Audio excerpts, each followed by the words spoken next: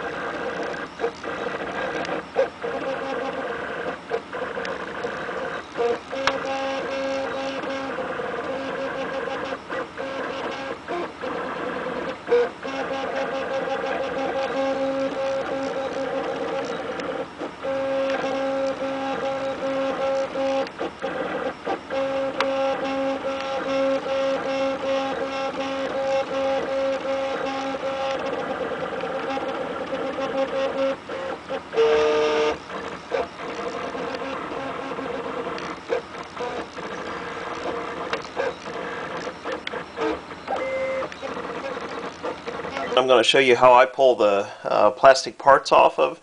Um, again, this is ABS plastic parts that are on a PET tape that has um, some ABS juice. It helps it to really stick on very good, gives you much better parts, but uh, bad news is it's a little bit harder to get them off. Uh, down in the corner you see that uh, here's a little piece of ABS that uh, I use the nozzle and the glass plate here as a wipe function when the uh, uh, nozzle goes past it it's so low that it actually kicks off any extra extrusion that I have uh, prior to printing so that I get cleaner print. Uh, normally uh, I'll go through and uh, try and pre-loosen a little bit of it by putting some pressure and you can hear it crack. That's actually not the glass, that's just the bond between the ABS and the surface of the PET tape. So yeah, you see this part actually just popped right off by doing that.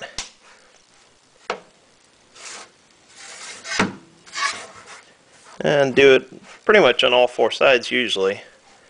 If I have trouble. There's three sides. Let's see if we can get it. So usually I just kind of like pinch them a little bit and they come right off. So it's kind of nice that way. Once in a while I'll actually, most of the time I'll actually cool them where that they are actually vertical like this and by cooling it that way then I don't actually have to worry too much about um, the parts and sometimes they'll just actually break free themselves as they cool. Anyway, let's pull the rest of these off. That one's a little harder and see it's a pretty good bond. Uh, they make very very flat parts. That one came off much easier than I expected. And I'm not actually touching inside the area that I use to print all the time. I don't print um, partial beds like this um, unless I'm actually printing custom colors. I had a couple people that ordered um, mixed uh, colored parts so that uh, they start off uh, yellow and then end up black on this one, start off black and end up yellow on this one. By the time you get done you get a very very colorful printer that looks very nice. So Anyway, here's the last piece. I'm using hemostats just because they actually fit in. You can also use uh, just regular needle nose pliers. They work out pretty good too. And the last piece is uh, the outline that I usually print. Gets rid of all the gunk that's already in the uh, extruder nozzle that's, you know, not really great material to start a print off with. And it comes right off.